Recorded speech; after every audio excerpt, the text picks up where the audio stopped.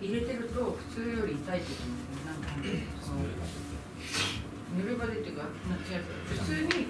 普通女子って一応やっぱり胸とかがこうバンってどっかぶつかったら結構痛いんですけどそれ倍痛い、えー、異物を入れてるから。やだそれマンモグラフィーとかどうするんですかねいやなんかマンモグラフィーとかしたらバレる。割れる？